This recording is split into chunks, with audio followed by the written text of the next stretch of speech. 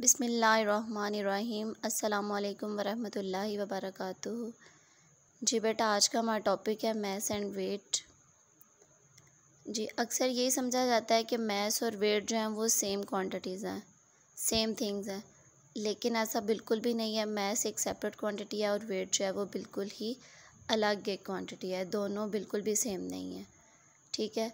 First of all हम maths को discuss करते हैं दैन जो है वो वेट को करते हैं। दोनों को आप कंपेयर एक दूसरे के साथ कंपेयर करके भी राइट कर सकते हैं, ठीक है? अब हम मैथ्स को अगर देखें तो मैथ्स किसको कहा जाता है?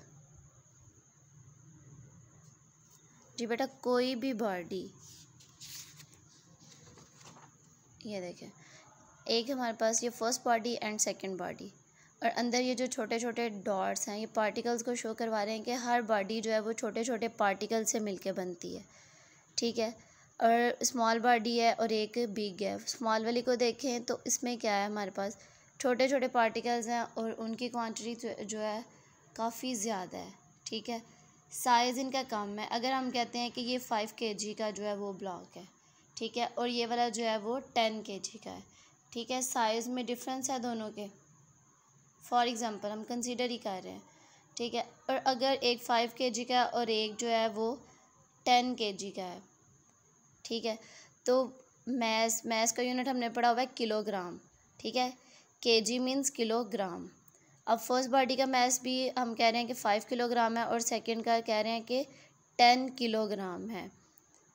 मैस को किलोग्राम में रिप्रेजेंट किया गया तो ये जो पार्टिकल्स हैं, इनसे मिल के जो है वो बॉडी का मैस बनता है, ठीक है?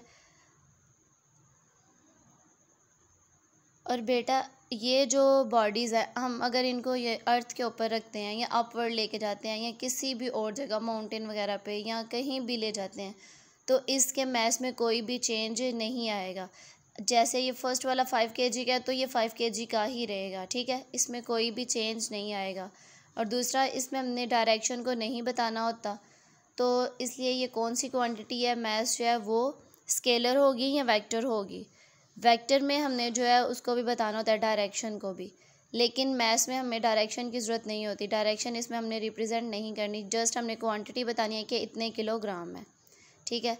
तो उसके लिए जो है हम बताएँगे फिर कि ये स्केलर है या वेक्टर है। तो वेक्टर में मैंने कहा कि हमें डायरेक्शन का बताना ज़रूरी है, लेकिन स्केलर में हम जस्ट क्वांटिटी बताते हैं। तो सो हम इसको कह सकते हैं कि mass is a scalar quantity ठीक है? फ़र्स्ट ऑफ़ ऑल तो ये हो गया कि पार्टिकल से मिलकर जो है वो बॉडी का मैस बनता है। Mass of a body is the quantity of matter possessed by a body. It is scalar quantity, ये एक स्केलर क्वांटिटी है। और जो है ये जगह चेंज करने से इसमें कोई भी चेंजिंग नहीं आती, ये उतनी की उतनी ही रहती है। जितना इसका मैस है वो बिल्कुल भी चेंज नहीं होगा। और जो एक और बात है इसमें कि इसको हमने मेयर किससे करना है?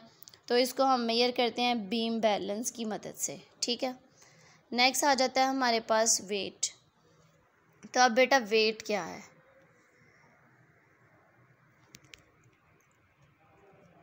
हाँ जी। ये जो ब्लॉक है, ये वाला हमारे सामने। इसमें जो है, वेट जो है, वो डाउनवर्ड डायरेक्शन में एक्ट कर रहा है।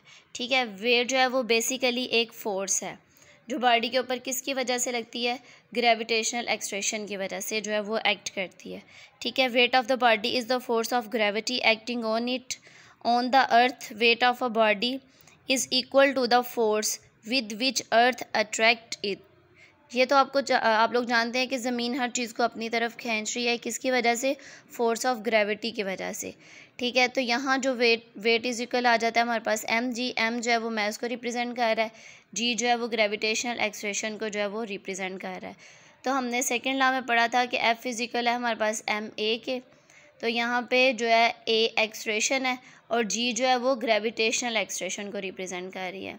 सो so, फोर्स जो है वो इक्वल आ जाती है हमारे वेट के और यूनिट ऑफ़ फोर्स क्योंकि हमने पढ़ा हुआ है न्यूटन तो इसी वजह से जो वेट का यूनिट है वो भी क्या होगा? न्यूटन ही होगा। और अब हमने मैथ्स को तो देख लिया था कि वो एक स्केलर क्वांटिटी है वो वेक्टर नहीं है क्योंकि वहाँ पे डायरेक्शन को रिप्रेजेंट नहीं करना हमने। लेकिन वेट वेट में देखें लाइन लगी हुई है और डाउनवर्ड डायरेक्शन को शो करवाया गया है। तो ये जो है, जब डायरेक्शन को शो करवाया गया है, फिर ये स्केलर तो ना ना हुई, फिर ये वेक्टर क्वांटिटी है। वेट जो है, वो एक वेक्टर क्वांटिटी है। और एक और पॉइंट था कि ये मतलब जगह चेंज करने से, एक जगह से बॉडी दूसरी जगह पे जाएगी या अपवर्ड डायरेक्शन में मूव करेगी या डाउनवर्ड डायरेक्शन में मूव करेगी तो वेट की वैल्यू में चेंज आएगा कि नहीं आएगा? तो ग्रेविटेशनल एक्सट्रेशन की वजह से इसमें चेंज आएगा, क्योंकि जी की वैल्यू जो है, वो जितना बॉडी को हम अपवर्ड लेके जाते हैं तो वो वैल्यू कम होती जाती है जी जो है वो नेगेटिव में आना स्टार्ट हो जाता है। और जितना हम अर्थ की तरफ़ मूव करते हैं, उतना जी की वैल्यू जो है वो हमने पॉजिटिव में पढ़ी हुई है। उतना जी की वैल्यू क्या होती जाती है? इंक्रीज़ होती जाती है।